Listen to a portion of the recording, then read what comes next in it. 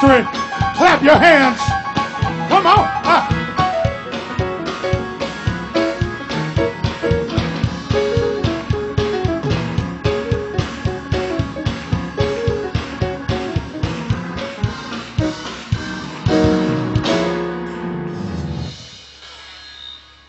Thank you so very much, ladies and gentlemen, brothers and sisters. We certainly appreciate your staying for these moments that are so special to the church of the living God. In the name of God the Father, the Son, and of the Holy Spirit, amen. All of our help comes from the Lord, the maker of heaven and earth. So glad to have co consecrators with us this morning, our dear brothers in the Lord Jesus Christ and sons as well, Bishop Felton O'Bess. Sanctuary of Faith and Glory. Appreciate them sacrificing his time. Bishop William McKissick Jr. Amen. Jerusalem Church Ministries in Meriden. Amen. Well, Let us stand for prayer. Lord Jesus, we thank you for this time of consecration. yes, Lord. Thank you that your hands are laid on this thou your servant, Apostle Justice Kojo Bentil. Yes, Lord. Let your glory be upon him. Let your favor be upon him. And let your presence be perpetually with him. We ask this in the name of the Father, and the name of the Son, and the name of the Holy Spirit, and all of God's people said, Amen. Amen. Please remain standing as we read collectively the Nicene Creed. We believe in one God, God, the Father, the Almighty, maker of heaven and earth, of all that is seen or unseen. We believe in one Lord, Jesus Christ, the only Son of God, eternally begotten of the Father, God from God, light. From light, true God from true God, begotten, not made, one in being with the Father. Through him all things were made, for us men, and for our salvation. He came down from heaven by the power of the Holy Spirit. He became incarnate from the Virgin Mary and was made man. For our sake he was crucified under Pontius Pilate. He suffered death and was buried. On the third day he arose again in accordance with the scriptures. He ascended into the heavens and is seated at the right hand of the Father. He will come again in glory to judge the living and the dead, and his kingdom will have no end. We believe in the Holy Spirit, the Lord, the giver of life, who proceeds from the Father. With the Father and the Son he is worshipped and glorified. He has spoken through his prophets. We believe in one holy universal church. We acknowledge one baptism for the forgiveness of sins. We look for the resurrection of the dead and the life of the world to come. Amen. You may be seated. Have you received the mandate from uh, the Holy Synod? We have. Well, let it be read. mandate of consecration in the name of God. Amen. Let it be known to all here present that in the month of October in the year of our Lord 2012, preliminary discussions commenced between representatives of the International Bishops Conference and the Kingdom Power Family International to seek ways of intercommunion and full relationships between said churches. Such discussions having been fully successful, completed on October 21st, 2012, and a writ of concord agreed to. The Synod of the International Bishops Conference, in full consultation, has mandated that Justice Kojo Bentil be elevated to the rank of prelate on the 21st day of October in the year of our Lord 2012. Amen. Thank you so very much, Bishop.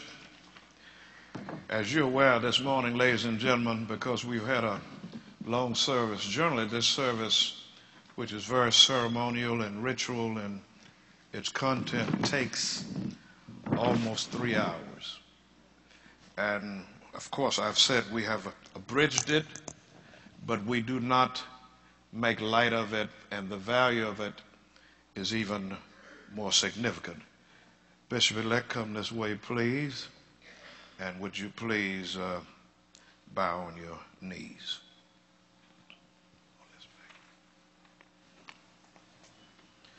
Let me have your hands, son, in front of you, both of them together.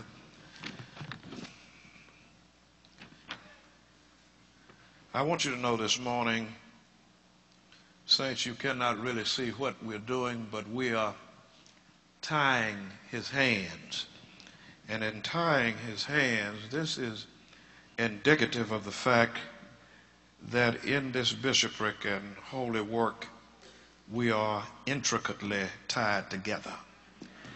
We are bound to each other. And we're bound to the church and we're bound even more so to the church and to you because we're bound to Jesus Christ. It is He who makes all of the difference in the world.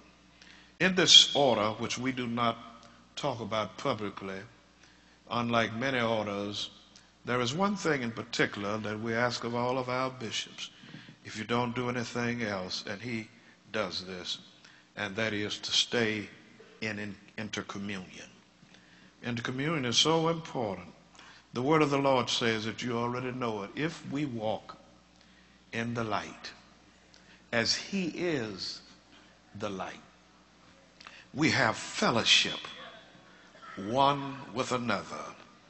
And the blood of Jesus Christ, His Son, cleanses us from all unrighteousness. We are bound together.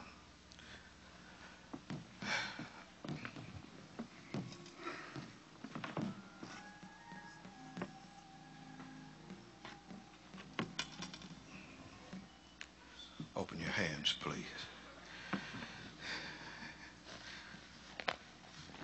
We already know this. Your hands are holy. Your hands are pure. Your hands are sacred. Your hands hold the holy word of the Father, of the Son, and of the Holy Ghost.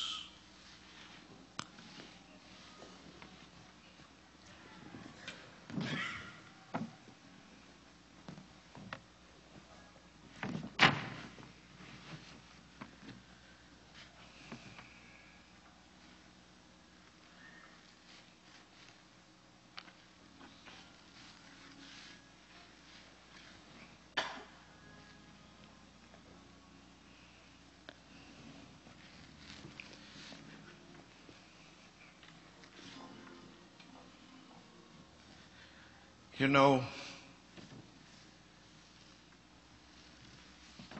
when the prophet Samuel came to the house of Jesse, he was looking for the right one, the one to be anointed king of Israel. And you remember that his father had his brothers to come in, and he thought because of their countenance, of their height, that they were the ones. But the scripture says the oil would not pour. But we say to you this morning, in the name of the Lord Jesus, receive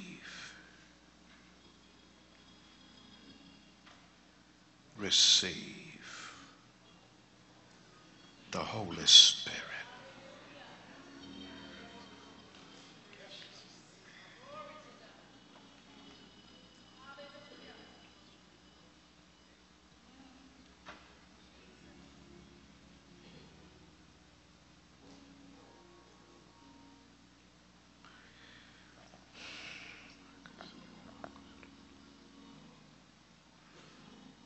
He's the all empowering agent we have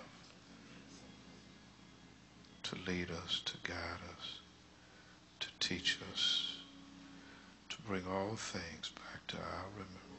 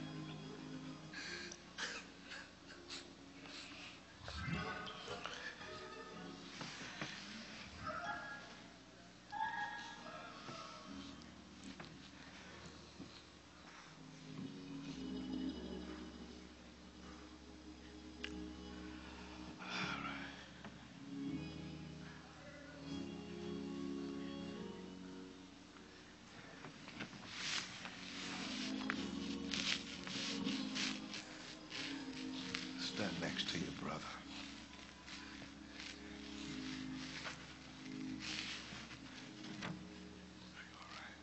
Stand next to you, brother.